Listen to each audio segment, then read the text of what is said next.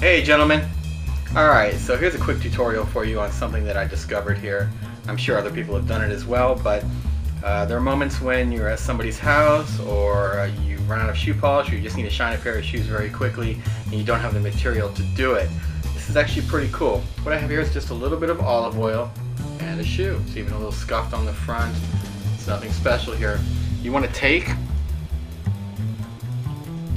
your rag that you're using and you want to put it on the shoe like that.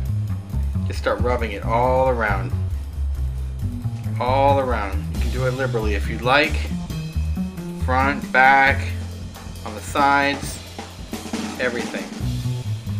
What I like to kind of do is uh, just let it soak in for a minute or so. Doing the back here.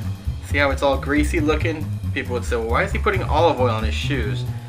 You'd be amazed at what it can actually do to make them look nice and shiny. So right now they look a little over shiny and when I come back in a moment I'm going to polish them off after I let them sit for like maybe a minute and uh, polish them off there for you.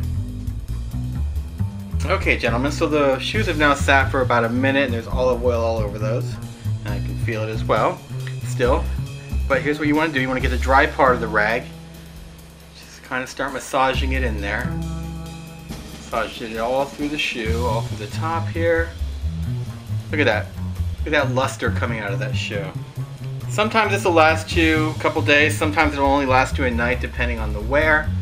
But just want to polish in that luster. It's amazing what little olive oil can do. It's unscented as well, so you're not going to stink up the place by having some weird polish on your shoes or some experimental polish that you're not certain of. But uh, take a look at that. Take a look at the uh, shine there. Everything looks so much better.